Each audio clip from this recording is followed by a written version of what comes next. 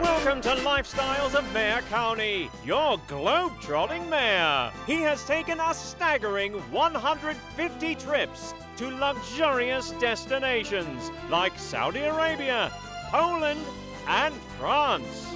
That's an average of nine trips per year. Don't blame him if roads are falling apart. Mayor Cownie flies high above it all. The only thing that flies higher is your taxes.